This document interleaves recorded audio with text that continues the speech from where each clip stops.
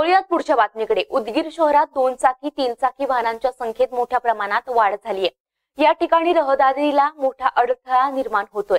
उदगीर शहर पोलिसांनी अवैध प्रवासी वाहतूक करणाऱ्या रिक्षा मोटारसायकलवर धडक कारवाई करत मोहीम राबवली आहे यावेळी अनेक वाहनांना दंड बसलाय आणि तो वसूलही करण्यात आलाय. शहराला वाहतुकीची शिस्त लागावी म्हणून ही कार्यवाही करण्यात आली आहे या कार्यवाही दरम्यान पोलीस स्थानकाला जत्रेचं स्वरूप आलं होतं. शहरात आणि बाजारपेठेत पार्किंग व्यवस्था नसल्यानं बेशिस्त वाहन पार्किंग करणाऱ्यांवर अनेकदा वाद होत आहेत अशा वाहनांना शिस्त लावण्यासाठी शहर वाहतूक शाखेच्या वतीनं विना परवाना नो पार्किंग इन्शुरन्स नसलेल्या वाहनधारकांवर कार्यवाही करून दंड आकारण्यात आला आहे.